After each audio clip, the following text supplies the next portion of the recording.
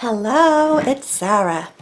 I had a busy painting day yesterday. Um, so in the previous video I shared how I applied the pattern with this Saral paper.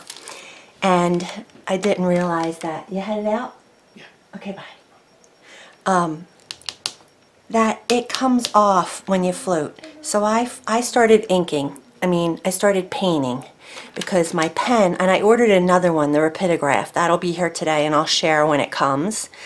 But I just wanted to tell you that there's a reason she wants the ink first because if you paint, all these blue lines come right off. So I'm in the process of reapplying the lines that I lost, which is just mainly the words. I was able to ink pretty much everything else. I keep saying ink, paint so float or wash.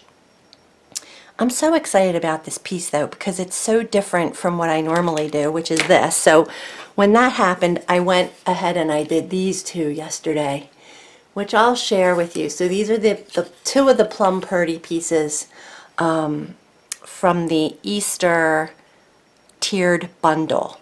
Um, and I did my gold leafing on the edges. Some of the stuff I tried to paint down in the nooks and crannies uh, that I knew I wouldn't be able to reach with my gold leafing pen.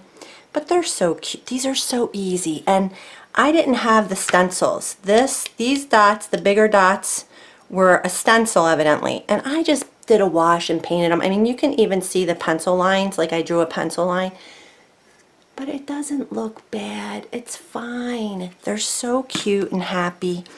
Um, yeah, these, uh, I, they're washes, but they're kind of lumpy and bumpy. But I don't care. It's an Easter egg guy, and he's so cute. Um, so yeah, so I, I managed to do the, and I don't have all the colors that she has, so I just picked something similar. And guess what? Like, here's the picture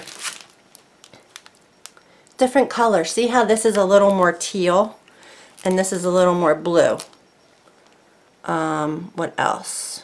Pretty much everything else is pretty good. Um, I didn't have the same pink, but boy, it's close. Mine's a little more coral, a little more orangey, and that's a little more pink. But it looks cute. Without that next to it, you don't even notice. So anywho, but just for today, I'm going to reapply the lettering and I'm going to work with this pen. This is called, it doesn't even have the full name on it. Wait a minute.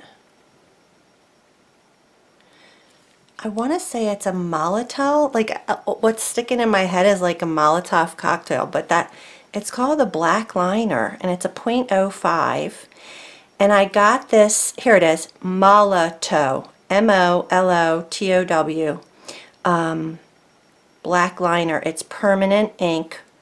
It's water-based, indelible, made in Germany, 0.05 millimeter.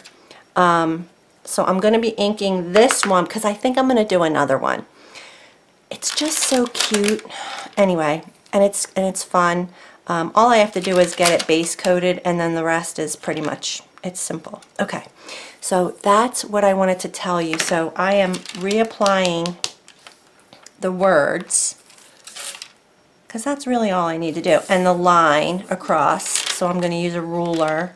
Anyway alright you guys that's it. Thanks for watching